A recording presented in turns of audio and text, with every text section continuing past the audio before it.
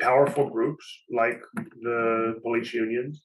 um, and you know the Republican parties in places like Philadelphia, where they're not going to win an election fair and square, are resorting to really dishonest, dirty tricks to try and take power, um, and also to try and make sure that if they can't take power, the other side, the side that was actually elected democratically, can't implement their agenda. Um, I think it is politics, but I think it's politics in in a context that has really high stakes and really real consequences.